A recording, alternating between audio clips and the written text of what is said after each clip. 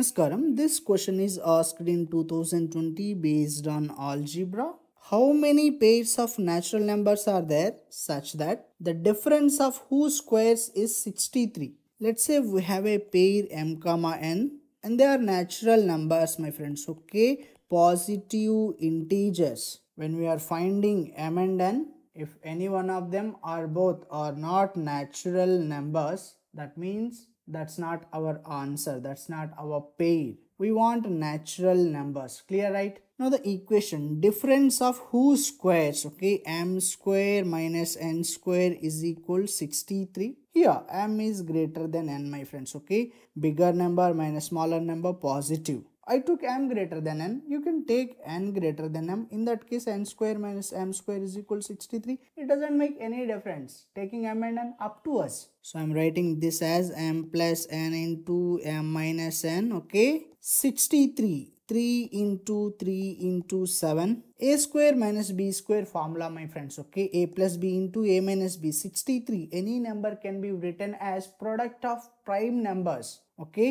basically this is 9 into 7 i'm writing 9 as 3 into 3 okay? 3 into 3 into 7 clear right? We are writing 63 like this because we want to see what are all the combination combination of two products. So writing like this will be very helpful so that we don't miss anything my friends okay? Now one possibility is taking these two as 1 okay? 9 into 7 this is one possibility. Second possibility is 3 into 7 okay? 21 into 3 third possibility taking all of them as okay 1 63 into 1 this most of you would be missing. See 63 you can write it as 63 into 1 right? Any number you take okay you can write it as n into 1 so this possibility you should not be missing you know if a bigger number is given it's hard to get the factors. That's why we have written 3 into 3 into 7 and then combining them. Okay these are only two possibilities and then this one. Now see there is a reason i have written bigger number first. Okay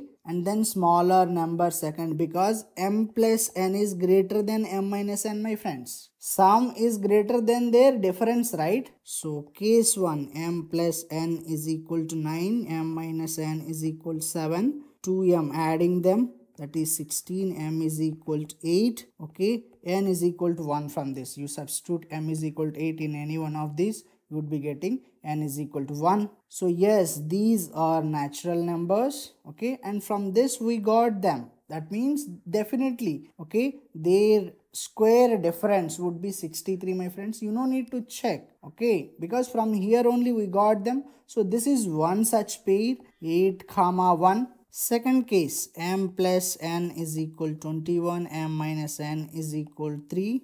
Okay, 2m is equal 24, m is equal 12. Okay, n in that case 9. So 12 comma 9. This is also another possibility. Now third case m plus n is equal to 63 m minus n is equal to 1 2m is equal to 64 okay m is equal to 32 okay substituting this in this equation 32 plus n is equal to 63 n is equal to 63 minus 32 that is a 31 so 32 comma 31 another possibility. So this equation has a three solutions okay 8 comma 1 12 comma 9 32 comma 31 three pairs of numbers which satisfies this equation and they are natural numbers my friends okay? So our answer is a. So the takeaway points from this problem is every number can be written as product of prime numbers my friends okay? Prime numbers. Please write the number given as product of prime numbers. When you write like that you know you can see all the